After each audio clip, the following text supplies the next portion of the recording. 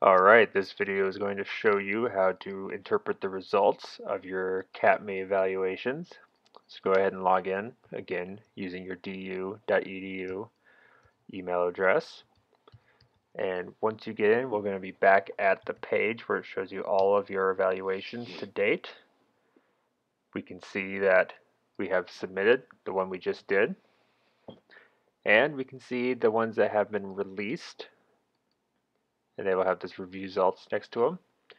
And here we see how you rated yourself, how your teammates rated you, and the average rating for you and your team.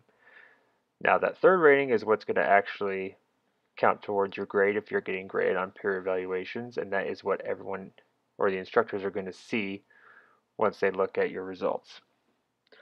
So you can see these results are pretty positive towards me and my team. So let's look at ones that are not so positive and have a lot of variability in them. So again, we have the same ratings, how you rate yourself, how you rate your teammate, or how your teammates rated you, and the average rating for you and your team. So as you can see, I did not have as good of ratings for this one, and my averages are brought down by the ratings of my team even ones that I didn't rate myself so well. So depending on how your whole team rated you will depend on where these ratings actually end up. So some of them are in the middle, some of them are skewed towards the team rating, and some of them are skewed otherwise. So a way to, for you to improve is to read these recommendations at the bottom of each rating.